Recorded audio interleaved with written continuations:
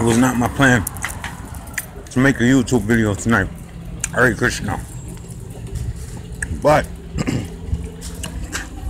what happened was I stopped and I got a snack. Yeah, that's the snack right there. What it look like to you? Hmm? I'll give you a hint. It's a relative of sativa. It's citrus. It's a fruit. It grows in the pod. It's called tamarindo. Tamarind. Right there. I call it ancestral tamarind. Only because this tamarind got that little sweet West Indian kind of sugar in it. We got different grades of sugar. We got some sugar that is highly refined, Western style, European style sugar. And you know, sugar contributed in a large part the slave trade. Apparently, when the Europeans discovered the sugar cane in the New World, they got turned out off of sugar. It was like a drug. It was like how crystal meth is doing the interior part of the country right now. That's how sugar did to Europe and sugar did to Africa. You know what I'm saying? So both people became sufferers when sugar got out of control. Sugar's a nice thing when used in a balanced manner. But when it's out of control, it causes kids to run around and they form these new hypotheses and they call it ADHD and ADD. Man, that ain't nothing but an excess of sugar in their system. Everything's made of corn syrup right now. But yeah, this this tamarind has that nice kind of sugar in it, that brown sugar. You know, that's what the Spanish people they go. I think they call it canela. I'm not I'm not sure, but it comes in a round round brick, and if you hit somebody upside the head with that, they won't be having sweet dreams. So, with this sugar that they put inside this tamarind, so let's break down the word tamarind first of all. It's a citrus fruit. Tamarind comes from Arabic, from tamar, which is dates, like dates that you use to break the fast with. I believe they have something called palm palm dates that are very, very, very um popular in Middle Eastern cuisine and in the Middle di- uh, Middle Eastern diet. So they got this thing called dates, right? And like even in the Quran, there's a verse of the Quran where they like they talk about what Tori Sinin. You know, they they talk about the olives, the um zaytun, and the oils, and they talk about the dates, what tamar. So date is tamar, and because the Arabs coined the term Hind or Hindu, they call it tamar Hind or Indian dates. So why am I talking about Indian dates? First of all, tamarind is one of my favorite foods from long time, from childhood. Because you know, in Jamaica now, that stuff is in, embedded in my genetic structure because we had tamarind trees on our land in Jamaica. I even saw, yo, tamarind tree. I'm gonna tell you what it reminds you of. I made a YouTube video a few years ago about. It's. I think the name of the video was like, it looks like the tamarind tree, and what that tree was was actually. Let me see if I can remember the name. The lotus? No. Locust. Yellow lo- golden locust tree. So you see these trees in new york they got these flat pods right? And it has real thin tropical style leaves. The blade the leaves are more like little blades. And that's how a tamarind tree looks like i think it's called locust golden or yellow locust tree and that, it like the leaves are blades and the, the bark is very um distinguished. Looks just like the thing. But yeah, it's a sativa plant. But the reason why I wanted to bring up about tamarind, you looked at it and you said, man, that look, stuff look nasty. It looked like, you know, you know what it looked like. And when you look at the fruit itself, the fruit is shaped like doo-doo. That's right. It's, it's shaped like cocky, man. Whatever you want to call it. That's what it's shaped like. But they have a saying that whatever fruit is shaped like, or whatever vegetable, whatever organ that it resembles, then it's good for that organ. So they say that yo, they say that tamarind is good for the intestines. And of course, it makes sense because it just looks like brown intestines when it's in the shell. Even when you take it out the shell, it looks even more crazy. But they also say that it's good for the nerves.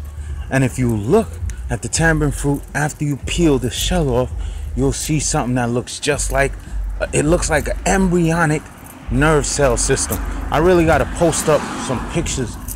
That would have been nice if I would have had some raw tamarinds to show you the embryo of these nerves. It's funny because everything has above is so below. So whatever's going on in our body is also going on in nature, it's also going on in the universe, it's also going on in the underworld. As above, so below. So whatever's affecting us in the stars is affecting us on earth. What is whatever's going on on earth is affecting the stars. We just copy and mimic off of each other. And of course, the material universe is an imperfect replica of the spirit of life in the spiritual world. So as you start off as a beautiful man or as a beautiful woman, then eventually with time, your beauty becomes corrupted because that's the nature in the material world. The nature is always eating us in the form of time. Krishna says that in the Bhagavad Gita. I mentioned before, if you look at a movie called Langoliers by Stephen King, you'll see the whole science of how time is actually devouring your current reality. Very interesting movie, Langoliers. So, whenever you have these different fruits, for example, I could say cashews is good for, I think cashews is good for the sexual organs, if I'm not mistaken. But they got walnuts, good for the brain, and it looks like a brain. Matter of fact, let me keep walking up the hill and it looks like a brain. Walnut looks like a brain, right? So all of these different fruits and vegetables, the longer time that you spend in the natural section of the aisle, the longer you will live. I love to point this out all the time. That as you go in through the aisles of the supermarket, the food quality degrades till you get to the most degraded form of food. You get to dead, rotting carcasses that have to be injected with dye to give it some kind of lifelike color. Because if you saw dead meat, it just looked grayish brown. It doesn't look appealing at all. And then to add insult to injury, they add a pure, harmonious product to this dead meat aisle. I'm talking about cow products, milk, cheese, butter. They mix it in with death because it's an insult. First of all, that commercially the commercially produced milk and cheese products is not really the best quality but to show you how they'll put something righteous and holy even in the midst of all of this death. Know, i just find it ironic you know what i mean? Processed foods are in the middle aisles. You know processed foods ain't good for you. Like i said when you get to death when you get to time to die that's when it's time to go over to the meat section you know, it's really crazy, but the psychology is there. Spend time in the first aisles because that's where all of your medicine is at. Like I said, even natural raw sugar is found in them first aisles at the supermarket.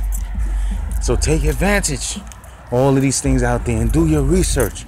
I'm not gonna go round for round, pound for pound, and tell you what cauliflower mean or what um, Brussels sprouts is good for. I do know this though. Here's a home remedy that a lot of you will find useful. Especially you vegetarian people, because what vegetarians like to do is replace starch for the meat. So a lot of us are high starch eaters, and that runs a risk factor where you see a lot of older vegetarian people are pretty much have problems with blood sugar. So I'm gonna tell you a tried and true remedy for blood sugar. There's an old school Jamaican remedy, and I told a Jamaican about it, and he did what I told him to say. And once again, I ain't Dr. Sebi. I don't know nothing, y'all. Nope, nope, nope. I just chant Hare Krishna. I don't know how to heal nothing. But I'll give y'all one little secret. So, I know I sounded like a punk, right? Uh, but listen, man, you, you, you run away today, sometime you live to fight another day. yeah, I know I sounded step and fetch it, but it ain't even like that. I'm just having a good time. I'm gonna sit on the steps of this Catholic church because I've never done so. Mm. yeah. So what happens with this remedy now is that you take when you when you make string beans and you know that water that's left over in there, you take that water and you drink it. And apparently that regulates your blood sugar, your insulin, and everything. It gets it back to normal levels. Also, when you soak okra overnight, when you soak okra, I thought this was detectives rolling up on me like, man, just leave me alone, okay? I ain't just leave me alone. Well, I'm good. Yeah. Yo, when you soak okra, you take that okra water and you drink that water, it'll automatically it acts as its own insulin in your system. So I told homeboy to do it. You know what I'm saying? And he went to the doctor after he took my recommendations to drink string bean water and to drink the okra water. He went to the doctor and they say, Yo, what's up, man? Like they were really shocked. You know what's funny with these doctors, right?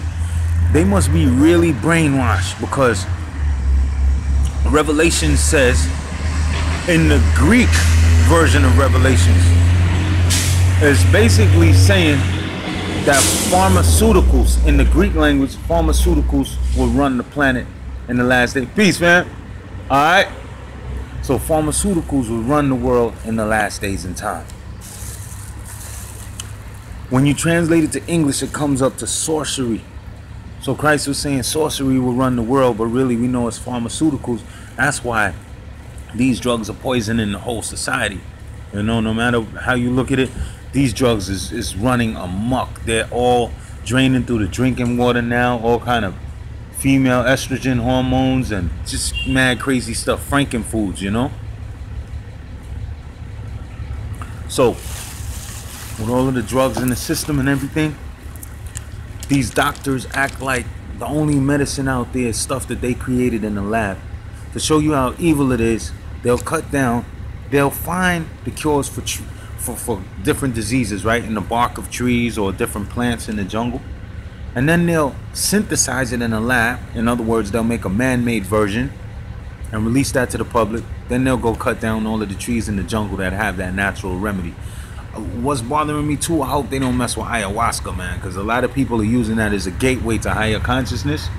And I hope they leave that ayahuasca alone. But see, the thing about ayahuasca is that it's not a particular plant or a particular tree It's actually a combination of three different plants. It's always a trinity, three different plants that have specific properties. Okay. These doctors, they act so amazed when you come up with a natural remedy because they don't believe in nature. They don't believe in God. So they're amazed because they think in their education, because a lot of them are educated fools, that the only legitimate cures are cures that are recognized or deemed safe by the establishment. But when you have a lot of anti-establishment or or sideways doctors or people who are um not sideways, what's the word? Off the grid kind of doctors like Dr. Sebi. There's a documentary out, I think it's called Strive Movement or Thrive Movement, and it's talking about all of the health care and holistic practitioners that have been killed since about like 2016 or so. Like over 50 health and holistic doctors have been killed. So what we got to do right now in this state of emergency, not only are they attacking black lives, and yes, black lives do matter, and I don't mean that in the sense of any organization or anything. I just mean black lives do matter. My life matters. Every black person's life matters, just like every white, just like every Chinese, just like every Spanish. Y'all might not deem us valuable. Y'all might not deem us necessary, but that's your concern. That's not my concern. I know what I got to do in this body. And that's that. Black lives do matter.